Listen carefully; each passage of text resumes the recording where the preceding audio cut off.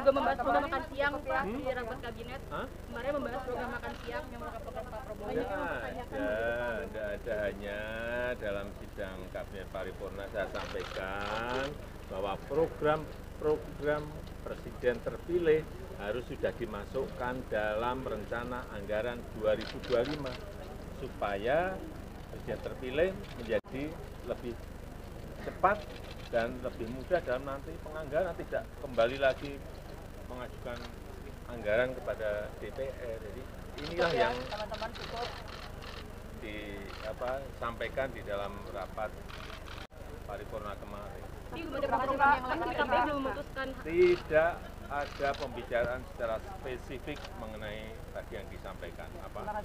program makan siang. Iya. Terima kasih Bapak Presiden. Baik.